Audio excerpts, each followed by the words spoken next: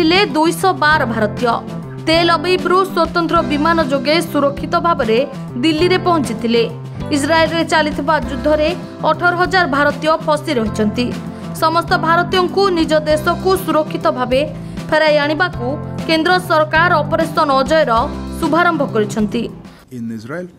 Uh, as announced by External Affairs Minister yesterday, Operation Ajay has been launched to facilitate the return from Israel Of our citizens who wish to come back.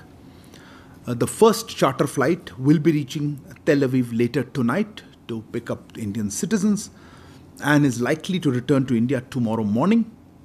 We will share with you information about further flights as they are finalized. This is still an evolving situation. Um, you are aware, um, External Affairs Minister took a preparatory meeting earlier in the day. We're also in touch with our, um, of course, with our embassy in Tel Aviv, our representative office in Ramallah, as well as with our neighboring, um, the missions in our neighboring, in, in the neighboring countries there, uh, particularly Jordan, Syria, Egypt, etc.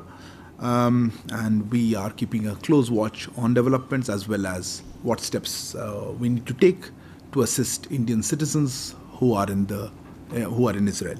Operation ଅଜୟର ପ୍ରଥମ ପର୍ଯ୍ୟାୟରେ ଦୁଇଶହ ବାର ଜଣ ଭାରତୀୟଙ୍କୁ ଉଦ୍ଧାର କରାଯାଇଛି ଗୁରୁବାର ରାତିରେ ବେନ୍ ଗୁରିୟନ ବିମାନ ବନ୍ଦରରୁ ବାହାରି ଶୁକ୍ରବାର ସକାଳେ ସୁରକ୍ଷିତ ଭାବେ ଦିଲ୍ଲୀରେ ପହଞ୍ଚିଛନ୍ତି।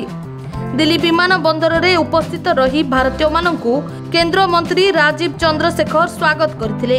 ପ୍ରଥମ ପର୍ଯ୍ୟାୟରେ ଇସ୍ରାଏଲରୁ ଫେରିଥିବା ଭାରତୀୟମାନେ ଅପରେସନ ଅଜୟକୁ ଖୁବ୍ ପ୍ରଶଂସା କରିଛନ୍ତି। ବ୍ୟୁରୋ ରିପୋର୍ଟ ଦିନାଙ୍କ ଟିଭି।